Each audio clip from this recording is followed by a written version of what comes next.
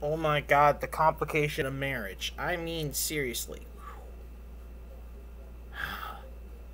They get married in Las Vegas, and this is the result. Salt. Earlier this month, Dwayne ha- Haskins got seriously injured by his wife, and now his wife faces charges for battery and domestic violence. Oh my god. Oh my god. Complication of early marriage. Ah. The police were called at around 2:30 a.m. Pacific time. According to this, his wife was charged for punching Dwayne Haskins. He had a split upper lip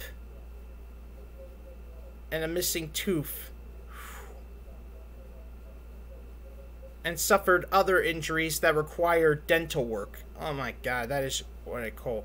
What the heck happened between these two? I mean, seriously.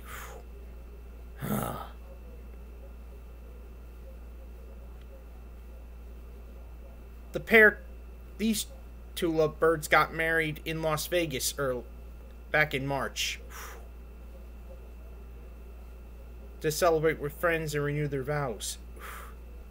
And this is the fact.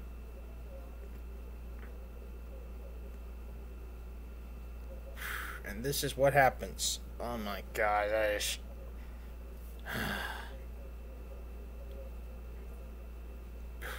Never get married this early.